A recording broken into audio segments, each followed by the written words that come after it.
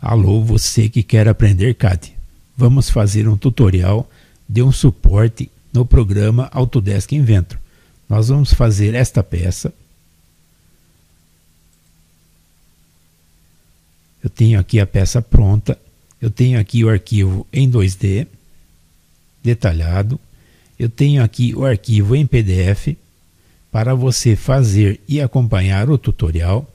Este arquivo em PDF você pode baixar aqui no vídeo que você está assistindo. Você clica aqui em mostrar mais e você tem aqui o arquivo em PDF para baixar através do Google Drive. Vamos voltar para o Inventor e vamos começar o nosso tutorial. Estou na tela inicial do Autodesk Inventor. Eu tenho ao lado o desenho em PDF. Eu arrumei a tela deste modo para nós fazermos o tutorial. A primeira coisa que eu vou fazer aqui, vou criar um projeto no Inventor. Então vou clicar aqui nesses pontos, vou clicar em Settings, vou clicar aqui em New, está selecionado New Single User Project, Vou clicar em Next. Vou entrar com o nome do projeto INGE 01 e vou selecionar a pasta em que vou salvar esse trabalho. Então vou vir aqui no meu computador, no disco C, eu tenho esta pasta criada, vou selecionar e vou dar OK. E vou terminar o meu projeto, vou clicar em Finish. Então ele veio aqui o nome da peça para nós trabalharmos, o nome do projeto está aqui, ó. E vou dar done. E vou começar o meu tutorial. Vamos começar um desenho. Eu vou clicar aqui em New. Aqui em ENUS vou expandir aqui a seta. Está selecionado o métrico Vou clicar aqui standard milímetro ponto IPT e vou clicar em criar. Ele abre a tela de desenho para fazer o projeto. Eu vou clicar aqui Start 2D Sketch, está em 3D Model e vou selecionar um plano de trabalho. Então vou clicar aqui no XY Plane. Ele ajusta o plano na tela para fazer o desenho eu vou clicar em Line, vou clicar na origem do Inventor, vou subir, a linha está aqui vertical, ele mostra o ícone para mim do lado ó, de vertical. Eu vou clicar aqui e fazer a linha. Vou apertar ESC para sair do comando. Vou selecionar esta linha e vou clicar aqui para transformar em Centerline. Então a minha linha está deste modo. Então este centro aqui do furo, ele pede aqui 80 milímetros. Vou clicar em dimensão, vou clicar na linha e vou clicar aqui do lado. E vou entrar com a distância de 80. E dar Enter. Vou clicar aqui na face do cubo para ajustar na tela. Então ele posiciona a linha na tela eu vou rolar o rolete do mouse para afastar um pouco o desenho e vou continuar fazendo o meu desenho. Eu tenho aqui um centro aqui com essas dimensões, 51,9 e 30,1. Então vou fazer duas linhas aqui para fazer esse centro. Vou clicar em Line, vou clicar aqui, iniciar a linha, vou para a direita, vou clicar aqui e vou apertar ESC para sair da linha. Vou clicar em linha novamente. Vou fazer outra linha aqui. Clicar aqui, descer e clicar aqui embaixo. E apertar ESC para sair do comando. Vou clicar nesta linha, clicar em Centerline. Vou clicar nesta linha, clicar em Centerline. Eu tenho aqui os constran do Inventor. Então está aqui, ó. Um deles aqui é o coincidente constran. Eu vou clicar Vou passar o mouse na linha, procurar o midpoint. Ó. Então ele mostra este ícone verde. Eu vou clicar e vou passar o mouse nesta outra linha e vou clicar aqui no ícone verde. Então centralizou as duas linhas, ó, uniu os dois midpoints. Eu vou clicar aqui em dimensão, vou clicar nesta linha e vou clicar nesta linha. Então ele aqui mostra para mim como eu cliquei em linha de centro, ele transforma aqui em diâmetro. Eu vou clicar com o botão direito do mouse Vou clicar aqui em linear diâmetro. Então vai ficar só o segmento das duas linhas.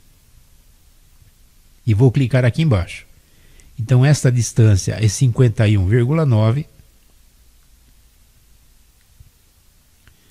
E vou clicar aqui para confirmar a dimensão. Continuo em dimensão, vou clicar aqui na origem e vou clicar nesta linha. Do mesmo modo, ó, clicar com o botão direito e clicar aqui linear diâmetro. E clicar aqui do lado. Esta dimensão é 30,1. E vou confirmar a dimensão. Então está feito para mim os centros. Ó. Tem um centro aqui, outro aqui e o terceiro aqui. Vou clicar em círculo. Vou clicar aqui na origem. Vou mover o mouse para o lado e vou entrar com a dimensão do círculo, que aqui é raio de 15. Ó. Então aqui o diâmetro total é 30. Enter. E vou fazer outro aqui. Clicar neste endpoint, abrir o mouse, digitar 30, Enter. Vou clicar nessa intersecção, movimentar o mouse, digitar 30 e dar Enter. E agora eu vou fazer o furo, que é 20. Então eu continuo em círculo, vou clicar na origem, vou mover o mouse, digitar 20 e dar Enter. Vou clicar neste endpoint, mover o mouse, digitar 20 e dar Enter. Vou clicar aqui nesta intersecção, mover o mouse, digitar 20 e dar Enter.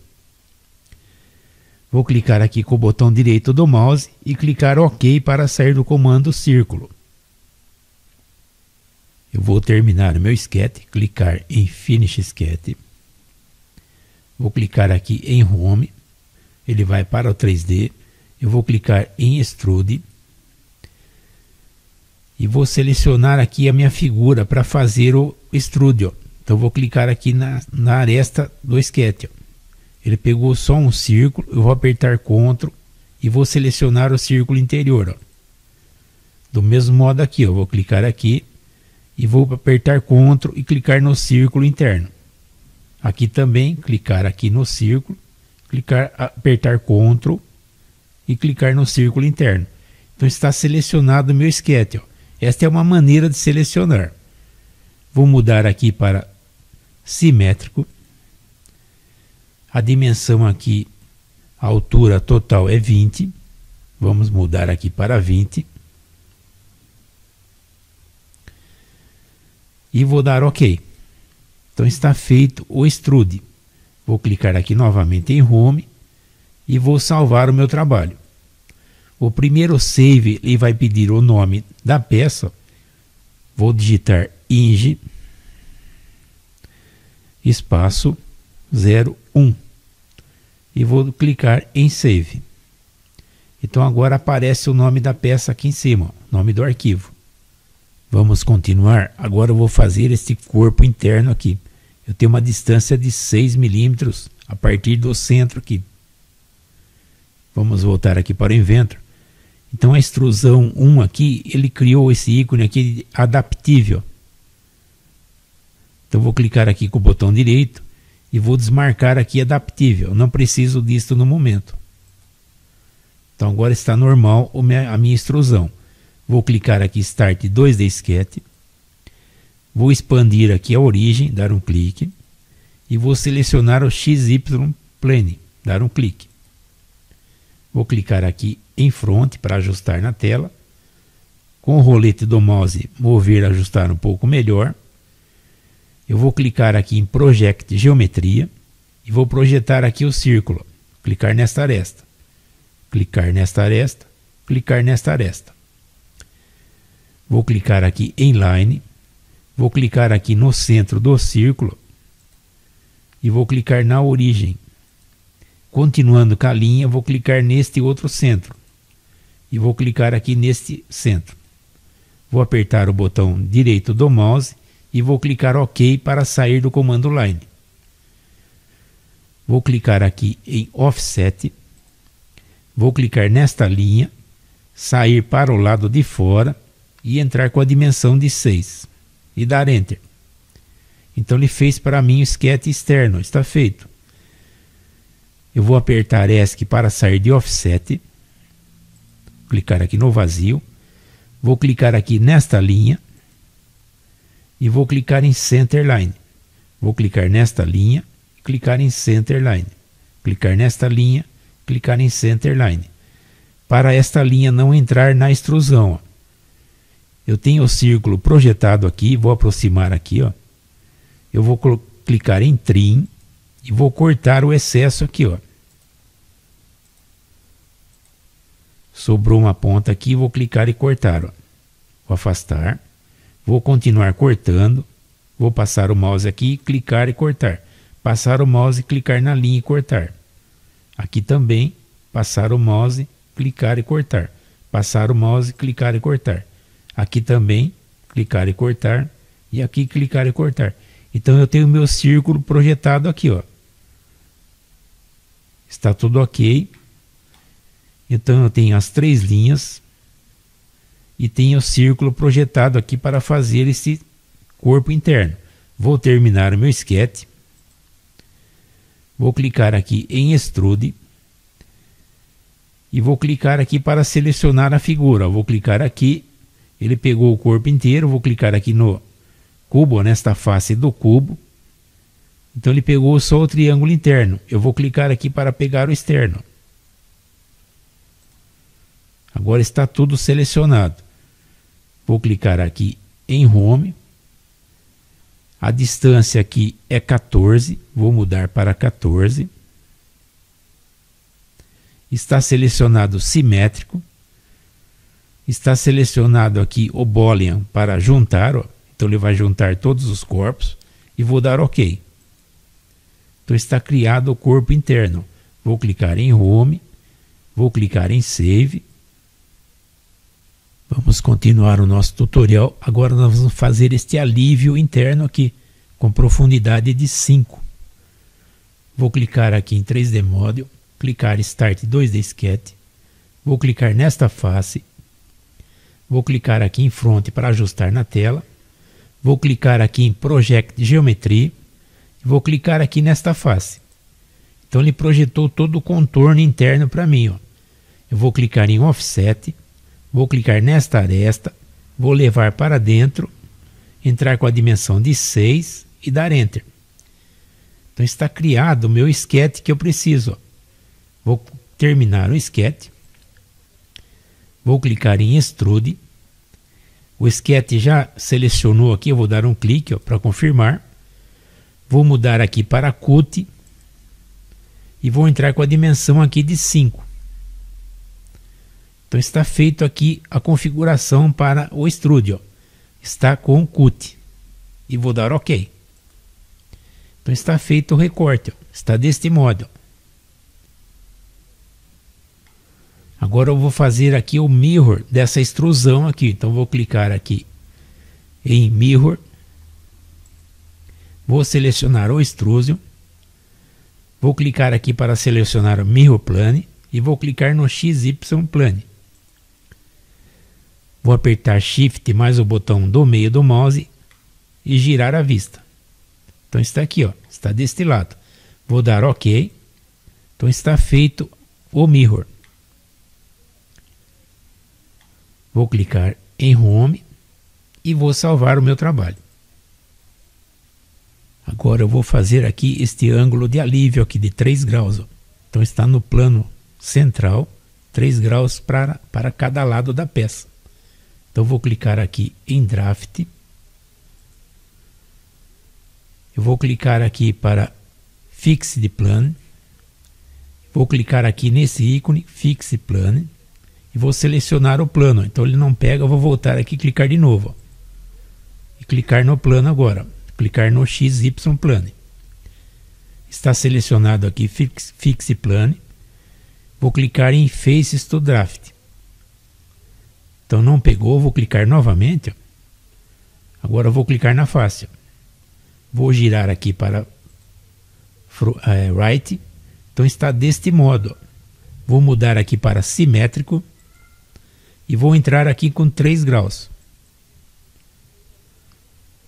Vou clicar aqui em Face e vou selecionar as outras faces. Ó. Vou clicar novamente, clicar nesta face, clicar nesta face, vou clicar em Home, vou apertar Shift mais o botão do meio do mouse, girar a vista, clicar nesta face, clicar nesta face, girar a vista, clicar nesta face e clicar nessas faces internas. Apertar Shift e botão do meio, girar a vista.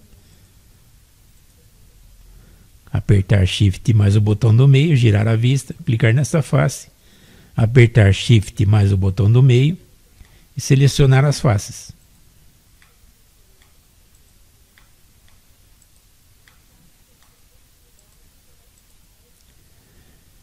e vou dar OK. Vou clicar em Home e vou clicar aqui em Right. Então minha peça está deste modo, todo com ângulo de saída, ó, todas as faces, menos o furo interno. Eu não selecionei o furo. Vou clicar em Home e vou salvar o meu trabalho. Vou continuar aqui e vou fazer o arredondamento. Eu tenho um raio de 1 típico. Então vou clicar em Fillet.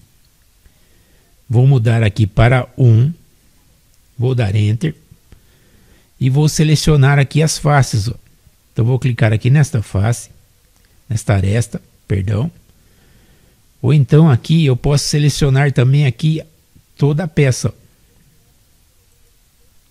Então selecionou a peça inteira, todas as arestas. E vou dar OK. Então está feito o fillet. Vou clicar em Home e vou salvar. Eu vou adicionar um material na peça, então vou clicar aqui na seta em Generic e vou selecionar aqui o material que eu preciso. Vou digitar I para chegar próximo do que eu preciso. Então está aqui o Ironcast, vou clicar, então ele adiciona o material na peça, está aqui. Então vou vir aqui em Índio, clicar com o botão direito do mouse Vou clicar em Properties. Então aqui na aba Physical, eu tenho aqui o material que eu selecionei e tenho aqui o peso específico do material. Vou dar aqui Update para atualizar a janela. Então aqui eu tenho o peso específico da peça. Desculpe, o peso da peça. Está aqui, ó. Vou dar close. Vou clicar aqui no vazio para tirar seleção. Então está pronto aqui o nosso suporte. Ó. Está feito o nosso IND 01. Se você gostou desse tutorial, dê um like, curta o meu canal, compartilhe, se inscreva. Me ajudem a fazer melhores tutoriais para vocês. Se você gostou deste tutorial e este tutorial te ajudou, você pode me ajudar também. Clique aqui nos três pontinhos aqui do vídeo que você está assistindo e clique em valeu. E faça uma doação aqui do vídeo, o valor que você quiser aqui para mim. Vai me ajudar muito e vai ajudar o canal. Qualquer valor está bom. Obrigado. Vamos voltar para o invento. Obrigado, até o próximo.